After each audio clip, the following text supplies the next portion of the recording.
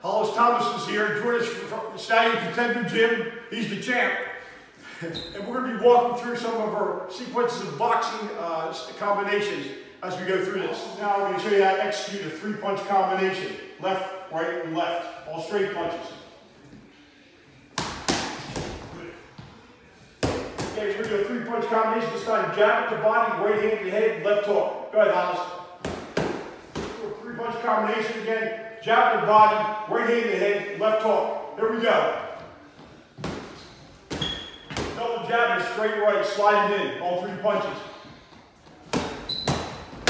A left jab, a right uppercut, and a left hook. Boom. There we go. Jab, duck, and then a straight right hand. Boom. Do it three times.